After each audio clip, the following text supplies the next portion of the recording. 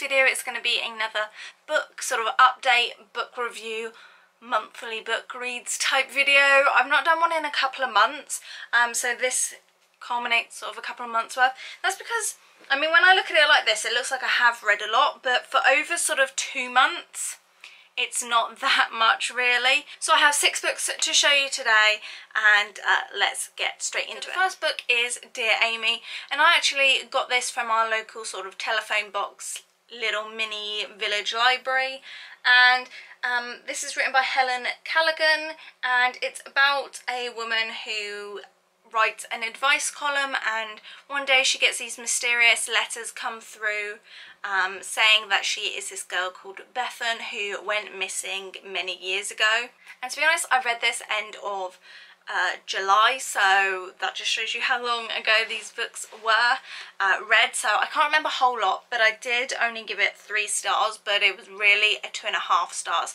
For me, it was quite disjointed, um, as in the writing aspect of it. I believe she is an American author, I think um, but the book is set in Britain and I always find that certain words really show off when the author isn't from that native land and for me it lacked that sense of uh, you know real credibility to the character and you know the country that it was set in um, yeah, I can't really remember a lot, but I didn't rate it very highly. And I love thrillers and things like that. And, you know, this sounded right up my street, but um, it was a little bit dark at times, like the actual, like, events and plot lines. So, yeah, I just wasn't that thrilled. So this will probably go back into that little telephone box library and maybe someone else will enjoy it a bit more than I did. Next book I read totally different end of the spectrum. This is The Courage to Care, Nurses, Families and Hope by Christie Watson. Um, I gave this 5 out of 5 stars. I really enjoyed it. So she is the woman that wrote um, the other book um, that was very famous after the or during the pandemic, The Language of Kindness. Um, and whereas that focused more on sort of her later career in the pandemic, this very much showed her as a nurse throughout her entire career really, um, from starting out as like a, a junior nurse, going around shadowing other nurses, going out in the field, um, going to people's homes, being um, community nurses and that sort of thing. She really showed that domiciliary side and as someone that has worked in the domiciliary industry for eyes it was really I could really relate to some of the things that she was saying about going you know to people's homes and how it, it just takes on another level of how grateful they are for your service. It talks about how she went into um, and cared for you know people with learning difficulties and um, just a wide range of spectrum that maybe you wouldn't see necessarily if you go straight into you know, hospital setting. Um, there's that obviously that other side of nursing and um, the medical field and she also talks about her own like struggles with having children and um, adopting and it goes through that little process as well. Um, she spent quite a bit of time sort of in um, pediatrics and in like the NICU the next book I was a little bit on the field of and I think I only gave it three stars. This is The Mermaid of Black Conch by Monique Roffey. It's a Costa Book of the Year award. Um, this is, I believe, set around in the 1970s in some sort of Caribbean island. Um, it starts off with um, a sort of sailor man um, who lives, you know, off the coast of this island. He's a fisherman um, called David Baptiste and he comes across this mermaid and he kind of falls in love with this mermaid but it's not quite Ariel looking mermaid like she sounds really like if you imagined a mermaid but not like a, a Disney mermaid like a proper person mixed with a fish like who's lived in salty water for years. Like she had barnacles in her hair um like yeah. I don't want to say like dirty uh, because that's not the right word because obviously she lives in the water but like that just sort of unkept sort of look that real like rural look that she had. That's sort of what I could imagine her to be like. Um, and so it did attract me. It took me a while to really get into this book. And it wasn't until maybe halfway, two-thirds through that I really was feeling for the characters and had, the, you know, the empathy. I was like rooting um, for... Her name is... Akaya? Akaya? Isacia? I... Not sure. Uh, where is it? That's her name. So she's the mermaid. Um, and basically these um, American fishermen come along and they end up catching her and they take her back to shore and they tie her up and obviously David spots her and decides you know this is no place for a mermaid cuts her down goes and keeps her in, in uh, his bath and they sort of bring together this friendship. Um, and yeah at times it was a bit sort of weird and it felt like he was a lot older than she was. So it felt a little bit like creepy. But I don't think there was as much of an age difference as I thought there was. So the speech itself is something to get your head around because not only have you got like the Caribbean um, accent to sort of grip, but obviously it's set in the 70s, um, but the mermaid's parts are all pretty much sort of poetically told, very much read like a poem. So obviously there's a whole aspect about um, the mermaid being cursed and um, you know, it unravels about this curse as we go on and how she ended up becoming a mermaid. It was interesting. Would I necessarily read it again? Probably not, so I'm probably going to give it into that little library as well. But I think if this is sort of like something that you would like to read, like this was a bit of a step out of my comfort zone. Um, it's not something I would typically go for, um, but if this is something that you would be really interested in reading about and you like sort of the time period, the area, you like mermaids, this is probably up your alley. So getting on to the books that I've read most recently, I was sort of in a bit of a lull around that book and that probably took me the longest to read.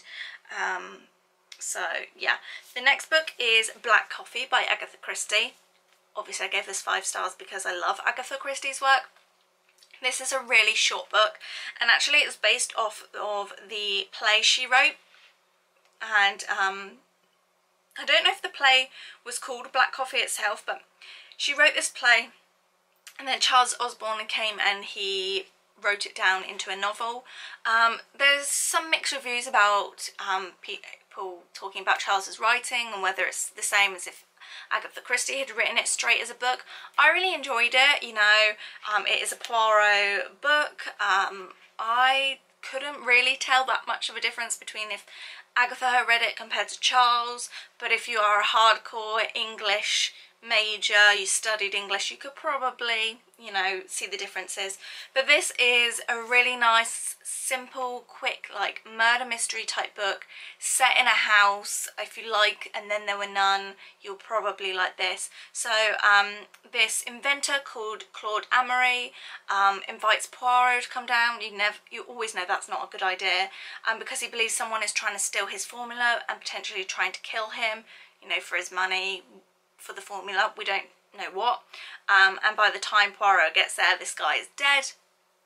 And so then it turns to looking at all the people surrounding him, his family, the local doctor, the random person that came by, his um, like secretary, all those different types of people, and then Poirot and um, you know his sidekick Hastings, they come and um, solve the murder. And yeah, like I said, it was really quick. It's less than 200 pages, so if you're looking for a small, quick, fast, something to maybe dip your toes into Agatha Christie, this is, I would say it's a nice book to read. Um, whether some hardcore Agatha Christie fan would say this is the first one to read, maybe not because it wasn't technically written by her, but it kind of was, you know. So yeah, but I enjoyed it. So then I was on a little bit of a murder mystery sort of kick and I started to read this. This I purchased around my birthday. This is um, MC Beaton, Agatha Raisin and the Quiche of Death. So this was really interesting. It's the first one in the series, which was fortunate that I just happened to pick it up, the first one, because I feel like that never happens. I gave it four stars. I enjoyed it. I will definitely pick up some more of this series. Um, it follows obviously um, a woman called Agatha, who I would say is maybe in her late 50s. She moves from London where she was had a really good job in like promotion um, and public relations and she moves to this tiny little um, Cotswolds village where, you know, it's the typical sort of murder mystery, Midsomer Murders village. Um, very quaint, everyone sort of knows everyone's business. And immediately I didn't find Agatha a very warm person and I think that's the whole idea is that she's not a very relatable person. She doesn't really have any family. She doesn't really have any friends and she's moved to this little village and she obviously wants to try and get in with some of the people in the village so she enters a quiche competition. But she ends up going to actually buy a quiche and it turns out that this quiche ends up killing someone. And that's where it unfolds with you know fingers pointed at Agatha and her quiche. Um she's trying to like clear her name and also you know like settle down in her new life in this like quiet little village um, but yeah I did enjoy it um, obviously I gave it four out of five stars but it didn't blow me away I thought maybe some of the bits were a little bit predictable and like I said Agatha was really quite a standoffish character from the beginning and then the last book that I read was J.K. Rowling's Fantastic Beasts and Where to Find Them. So this is obviously the screenplay based off the film. I'm assuming the film came first and then they wrote just put it into a book I think. Um, so obviously this is the first Fantastic Beasts film. I read all of Harry Potter and the Cursed Child but I hadn't ever read the Fantastic Beasts and I've not seen the films either and I purposely was holding out until I read the books. So I picked this up like one late afternoon and I think I finished the book by about 11 o'clock at night. I could not put it down. Obviously it's not like page to page writing if you see there is a lot of sort of dialogue broken up um, so it's really quite a quick read. But I was just engulfed in it.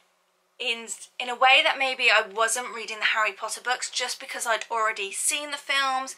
This world was so you know I read the books 20 years after the films came out so I was already very aware of the characters the the place you know I've been to Universal and seen it but you know Fantastic Beasts is set you know back in the 1920s around then.